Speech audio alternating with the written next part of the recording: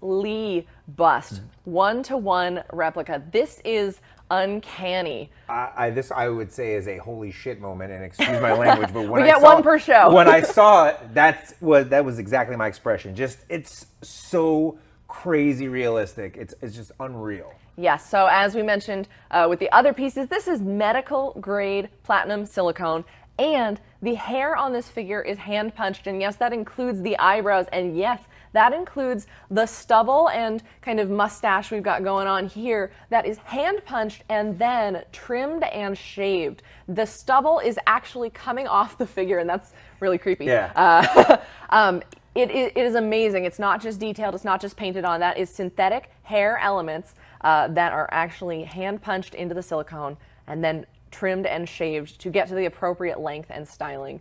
These also are um, ocular uh, kind of prosthesis that really, really give you that lifelike eye look. Now, I know this is available for pre order on our website right now, so you can check that out. Um, we do also have a fully detailed one to one costume here on on the figure. You can see the fabric and the way that it is bunched up. It is ooh, this is soft.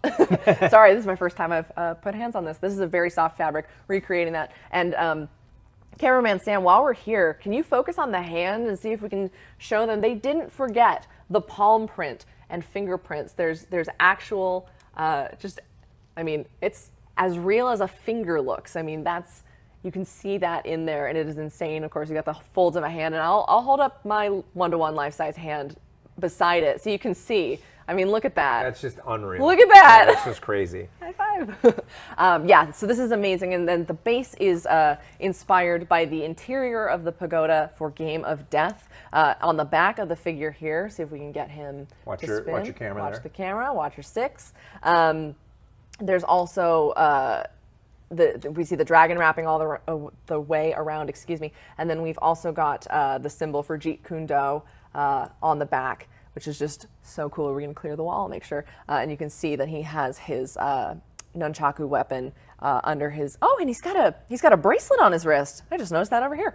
Let's spin him back around. There are there is so much to look at on this piece. I mean, you can see he's even got hair on the back of his neck just detailed in there. Uh, you see the life, uh, there's the life-sized detailing of this costume. It's just an amazing tribute to such an incredible actor, martial artist, and more. You see that bracelet There down there? Yeah, so cool. Perfect. Yeah. Ooh, this is just an amazing, amazing piece. And again, I, I know we got to take a look at that face, just absolutely uncanny, uh, even down to the individual eyelashes. Just such a beautiful uh, tribute to an icon of, of, of screen and of uh, martial arts. And that costume just so iconic in pop culture, whether it be Uma Thurman in Kill Bill. Uh, so many people have replicated that particular costume.